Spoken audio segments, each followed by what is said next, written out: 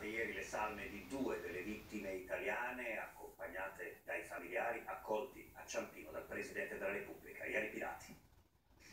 Due famiglie viaggiano insieme sul grande aereo grigio dell'aeronautica militare, unite da un dolore. Un viaggio a tappe forzate, quello per riportare a casa i corpi di Bruno Gulotta e Luca Russo, Barcellona, Roma, Verona, dove le strade delle due famiglie in lutto si separano. Una verso Legnano, nel milanese, dove Gulotta viveva e lavorava, l'altra a Bassano del Grappa, il paese di Luca Russo. Nella notte il Boeing arriva a Ciampino a salutare in silenzio i due ferri coperti dal tricolore. C'è il capo dello Stato Mattarella, le famiglie delle due vittime di Barcellona scendono assieme alla scaletta dell'aereo. C'è la moglie di Bruno, Martina, con i due figli piccoli, quello che lei stessa, con un gesto rapido, ha strappato dalla traiettoria dell'investitore, e la bimba di un anno, che come giovedì sulla rabla porta in braccio. E ci sono i familiari di Luca Russo, la sorella Chiara, che per prima ha comunicato la volontà della famiglia di donare gli organi della vittima italiana più giovane, solo 25 anni.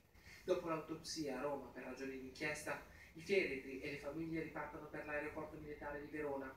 Prima che le strade si separino, un abbraccio lungo e intenso tra le donne delle due famiglie rompe il protocollo normale.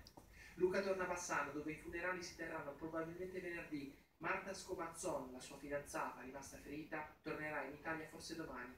Bruno invece torna a Legnano, dove per due giorni, da domani sarà lutto cittadino. Nel pomeriggio di domani, l'ultimo saluto anche per lui. Ci fermiamo qui, come dicevamo